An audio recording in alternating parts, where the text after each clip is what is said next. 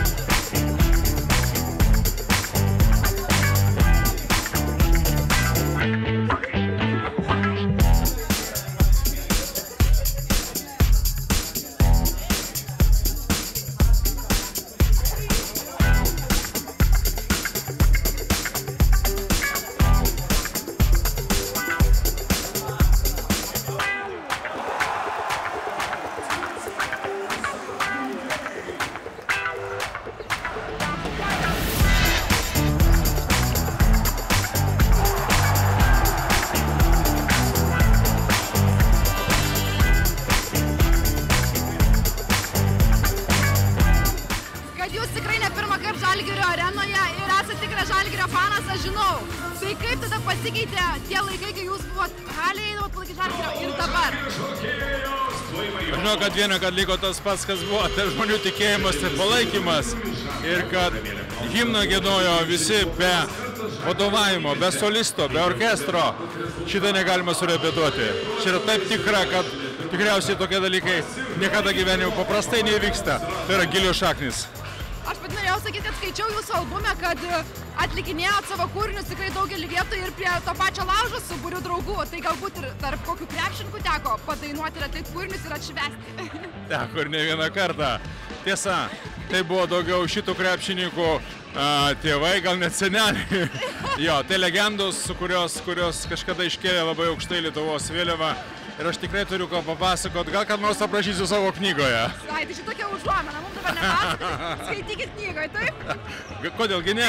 Kodėl ne? Jūs tikrai pasižymėt savo įspūdingą,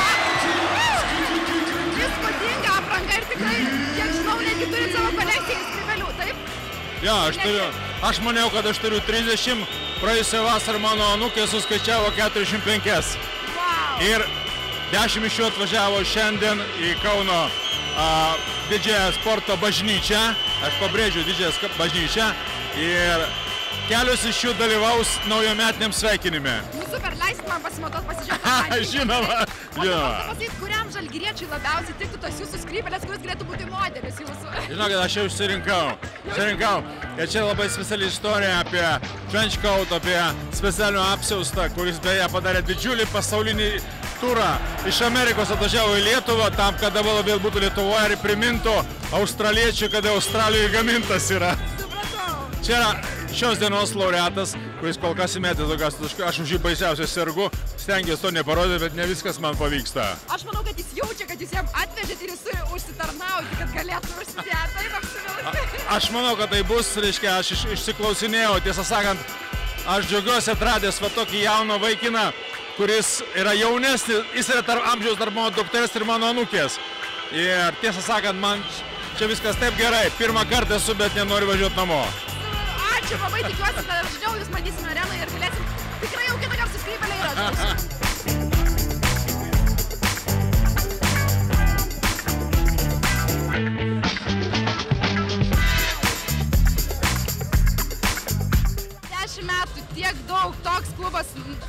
smagu, kaip matyti, kad tiek daug žmonių renkasi ir vis pilnėja jis tik tais? Nu labai smagu, ypač šitų žmonės, kai dešimt metų pažįstu, ta energija jaučiasi tikra fanų, tai be galo geras jausmas. Ar dažnai pabendraujat, pašnekat, gal kažkokių patarimų duoda, ką nori pamatyti? Ka, į metus kartą turim posėdį, kur daug išgirstų patarimų, tai kai laimim, tai būna lengviau, šiemet buvo sunkiau vakar, bet vėl mes nuo pat pradžių viską praėję ir tuos senus laikus, ir skolų, skolų laikus, tai tikrai augom kartu, judėjom į priekį kartu ir, kaip sakau, be galo geras jausmas, čia savi žmonės. Iš tikrųjų labai yra faina būti tokios organizacijos, tokios šeimos nariu. Mes jaučiam tokią bendrystę, vienystę ir tas motivuoja, užveda ateiti pastoviai būti su komanda. Mes atiduodam jiems savo energiją, jie atiduoda mums savo energiją ir labai jautis, faina jautis savo šeimos nariu.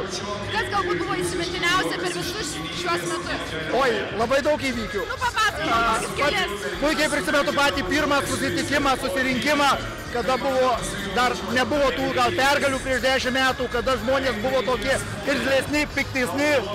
Kažkas sakė, kas nupirko bėgičių, kuris nupirko bėgičių, tai tą kaip dabar prisimenu.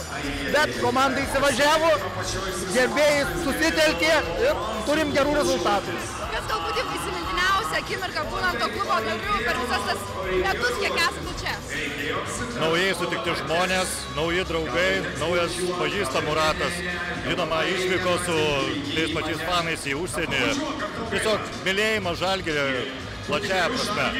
Tai dabar jau drąsiai galite sakyti, kad vienas iš e, draugų rato yra tikrai žalgrio fanai. Žinoma, žinoma. Beveik visi, va čia 500 minimum.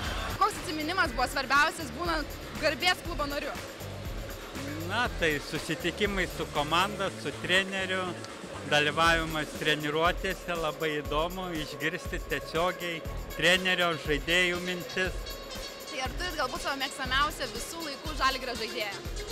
Gal, gal Jankūnas Paulius? Jankulas ištikimiausiai, ilgiausiai žais, tai tikriausiai Jo. visus jo karjeros laiptus sekėt, žinojot, stebėjot. Jo, jo. Tai kurie tie metai buvo geriausi? Nu, gal pirmieji. pirmieji. Bet aš manau, dar jis, dar ne, ne vakaras, dar jis pasirodys ir Jo, tikrai dar nustebins. tikėsime. Tikėsimės. Į antrą dešimtmetį pereisim Mes su juo. palinkėsim naujų metų progą Pauliui, man rodos. Jo, dar dešimt metų žaisti. Tai Taip, Dešimt bet 10 metų, bet Žalgirio gerbėjas, galiu pasakyti, nuo 1965 metų. Wow! Tada tais metais Modestas Paulauskas buvo išrinktas geriausių Lietuvos sportininkų ir pasirašė ant sporto laikraščio. Dar turite laikraštį? Per tiek laiko krausimais ir taip toliau. Bet, bet prisiminimas visam gyvenimui. Tai o koks galbūt dar įsimintinas įvykis įvyko būnant tuo žalgerio fanu? Nu, pirmosios išvykos su Žalgerio fanais, kad ir autobusinės į Lenkiją, kai tenais su Prokom Trefl lošėm ir treneris Kosauskas buvo, ir Maskoliūnas, nu, ir kaip ten juos šitą gerbė. Va tas va, svarbu, kad Žalgerio trenerius gerbė. Ir dabar, Norėčiau tik perduoti Kosauskui linkėjimus, nes aš ir pažįstu ir žinau, jis yra nuostabus treneris. Aleksandrai, linkėjimai!